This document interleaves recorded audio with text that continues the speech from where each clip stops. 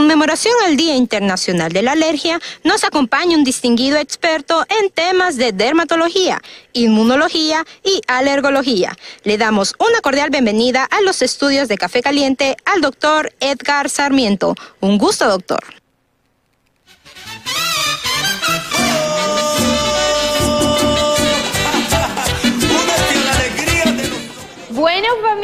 Un día como hoy es el Día Mundial de las Alergias y sabemos que es una enfermedad bastante común y para hablarnos un poco sobre el tema tenemos al especialista Edgar Sarmiento. Bienvenido a la Casa de Café Caliente, ¿cómo se encuentra?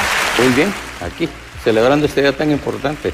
Y tan importante y tan común entre todos los hondureños lo que son el tema de las alergias, ¿verdad doctor? Es bastante frecuente las alergias. ¿Cuáles serían las alergias más comunes? Bueno, en la práctica privada, tanto como institucional, los cuadros más frecuentes son la dermatitis atópica, la rinitis alérgica, asma bronquial y conjuntivitis.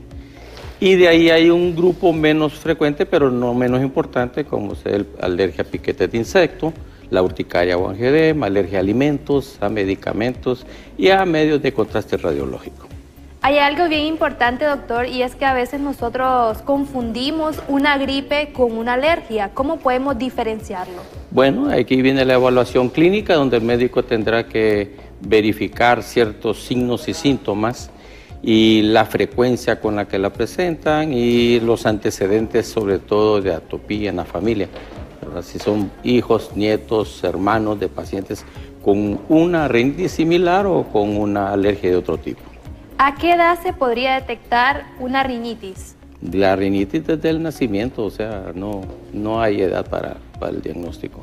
Y en cuanto a la alergia de alimentos, doctor, que generalmente viene a afectar bastantes a los niños. Sí, es que ahí hay que diferenciar lo que es eh, una alergia de una intolerancia, por ejemplo.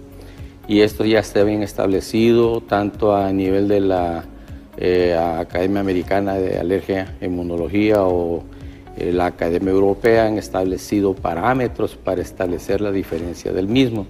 La alergia en sí tendría que ver mecanismos inmunológicos involucrados, inclusive con los eh, niveles de IgE alta, mientras que una tolerancia o intolerancia no lleva esos mecanismos eh, de tipo inmunológico o IgE elevada.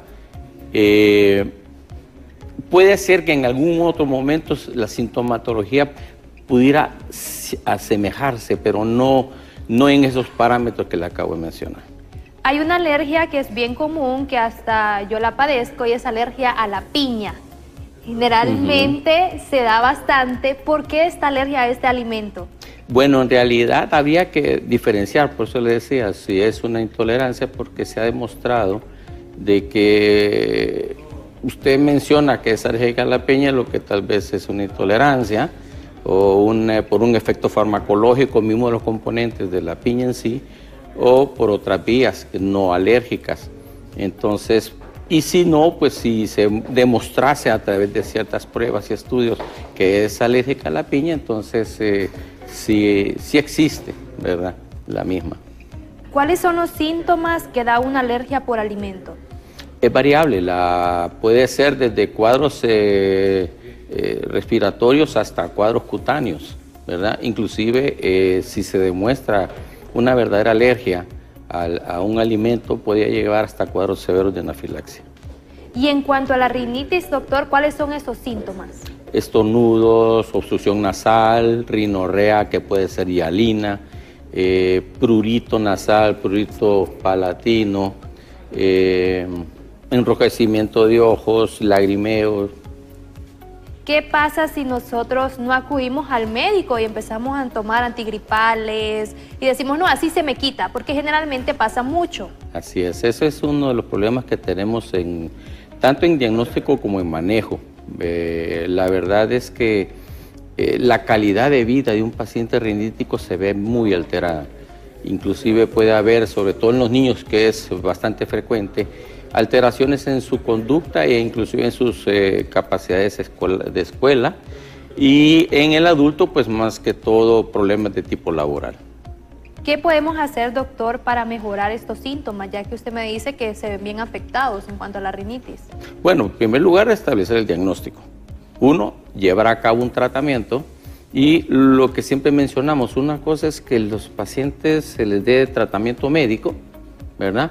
Y o también un control de su medio ambiente, de su hábitat, de sus hábitos, en los cuidados eh, comunes, evitar el tabaco, por ejemplo, evitar las eh, zonas de mucha eh, carga de ambientes tóxicos, el contacto con aerosoles, en fin, el contacto con el polvo, que es muy frecuente también, ¿verdad? O sea, tanto a nivel casero como a nivel de oficinas.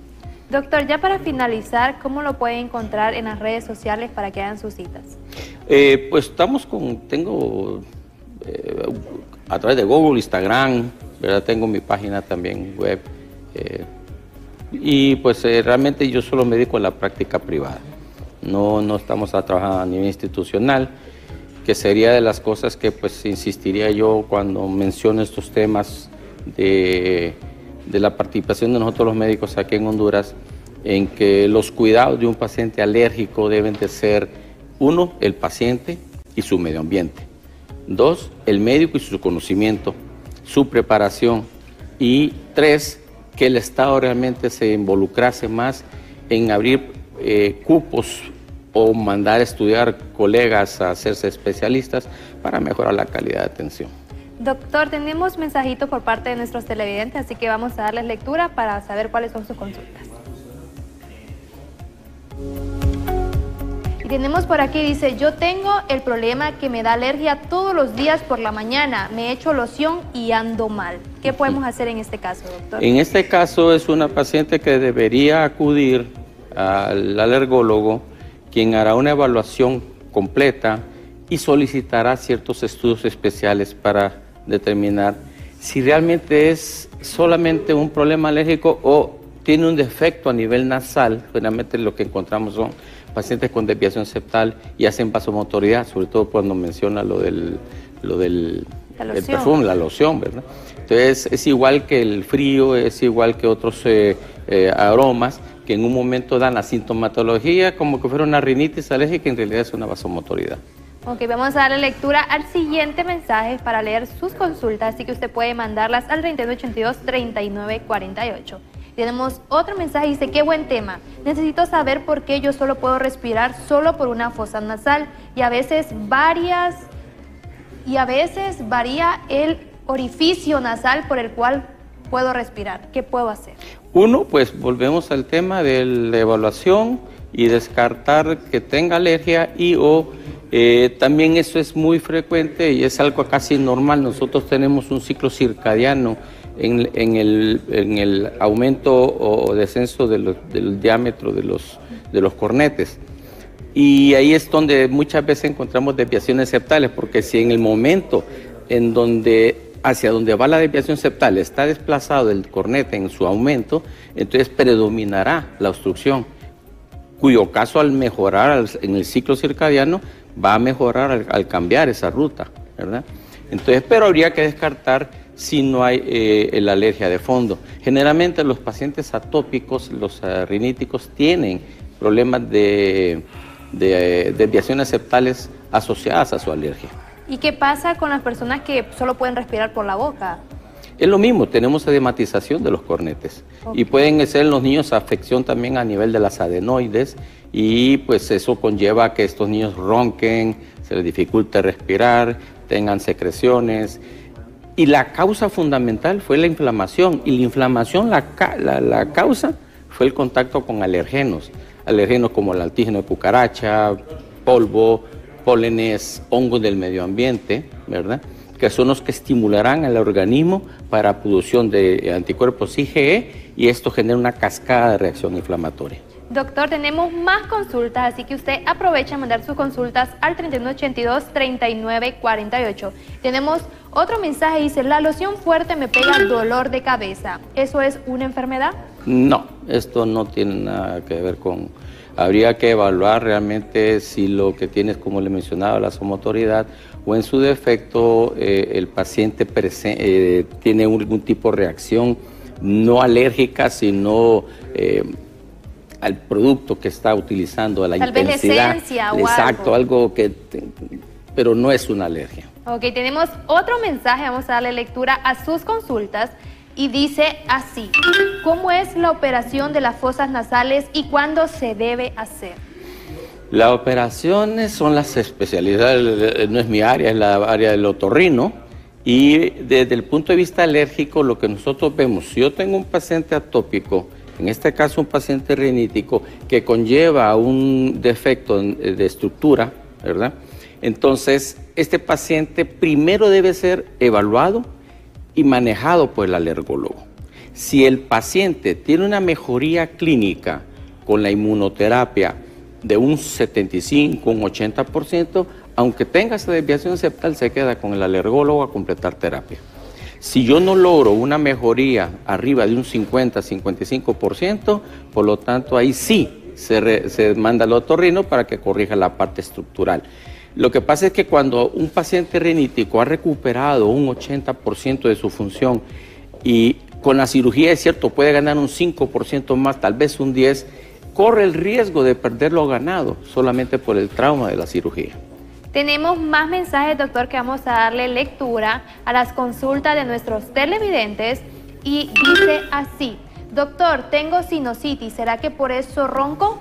Es muy probable, lo que pasa es que tiene edematización de la mucosa nasal con un proceso inflamatorio en los senos paranasales y por ello puede provocar acúmulo secreciones y la dematización de esa mucosa, lo cual llevaría a que él respire por boca más que por nariz y eso favorezca los ronquidos también. Ok, tenemos más consultas y vamos a darle lectura a sus mensajes, familia.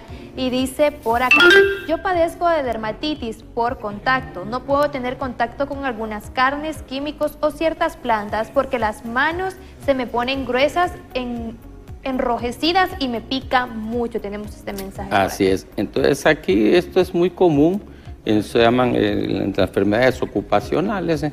y lo que vamos a tener son dermatitis eh, casi más de tipo irritativo. Entonces habría que ver los cuidados de las personas que tienen que usar guantes especiales para poder hacer ese tipo de labor, el encremado.